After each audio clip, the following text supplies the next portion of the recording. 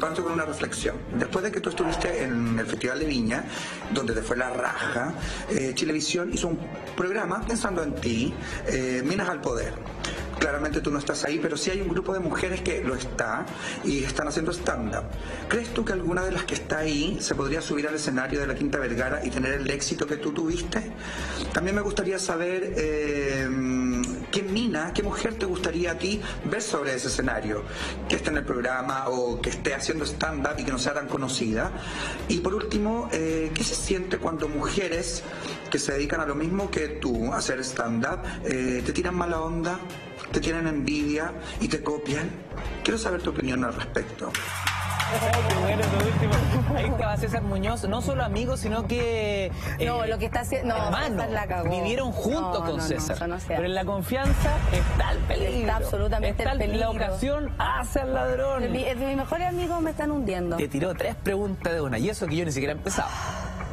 César en el fondo me está abriendo una puerta de libertad pero absoluta. De que no le entendí nada. no, no sé a qué se refiere. Te juro que no sabes a qué se refiere. No. Pero sabéis que, mira, la última vez que estuviste acá, hablábamos de una cuña que había dado, no sé, es un productor ejecutivo, un director de otro De un canal. programa que nadie vio. Un programa que no, que no me acuerdo ni qué programa era. No, gala de gala de humor. Ah, ya, perfecto. Que decía, eh, no hay mujeres porque no hay suficientes mujeres en el humor. Algo pasó que en nueve meses, o ocho meses, o un año, no sé, pero muy poco tiempo, ahora hay un programa solo de mujeres haciendo humor. Sí. Como que algo cambió, ¿no? ¿Tendrá que ver con lo que pasó en Viña? ¿Tendrá que ver con una, una, una nueva raya de cancha? Sí, Puede tener que ver con lo que pasó en Viña porque en el fondo vimos que una mujer lo podía lograr. Que eso parece que es súper importante también, que es como, ay, lo, lo, lo pueden lograr. Oh, no eran tan burras, lo podían lograr, igual son chistosas.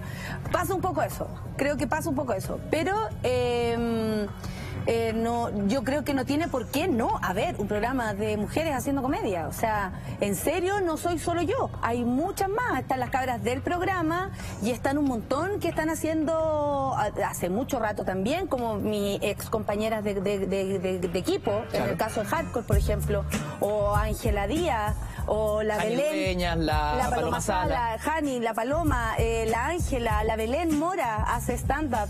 Eh, hay, hay, hay varias, o sea, hay mucha gente. No, no es- César- no, esto no es porque yo lo haga. Para que no queden las preguntas colgando. Dijo, este programa, para, ver, para que tú me confirmes, este programa efectivamente nace eh, como una oferta de televisión pensando en ti, el mismo canal del festival además. Sí, es posible que haya nacido de la idea de tener un programa conmigo porque eh, se pasaron el rollo, y así lo veo yo, de que yo me iba a quedar trabajando en la tele por este gran éxito que había tenido, ¿cachai? Y lo digo así porque creo que yo veo las cosas de, de otra manera. Eh, entonces, sí, pues puede ser que sea que era para mí y finalmente no fue para mí porque yo no tenía ganas de hacer ni ese programa ni ningún otro. No tenía ganas, no tengo ganas de estar en televisión, ¿cachai? Ya. De trabajar en televisión. Primera pregunta respondida. Segunda, ¿crees que alguna de esas chicas haciendo stand-up podría llegar a Viña y podría tener el éxito que tú tuviste?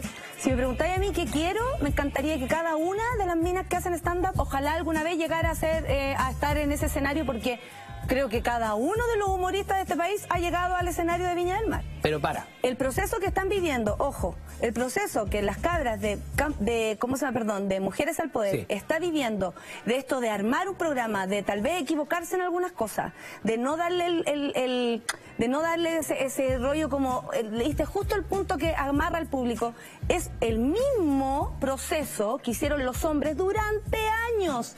Y ahora le estamos pidiendo a un grupo de cabras que tal vez algunas no llevan más de ni siquiera un año haciendo stand-up meses tal vez, o están haciendo stand-up gracias a ese programa, o conocieron el stand-up gracias a que trabajan ahí, que sean las más bacanes, las más inteligentes, la- todo, todo, las súper divertidas, las súper talentosas, súper...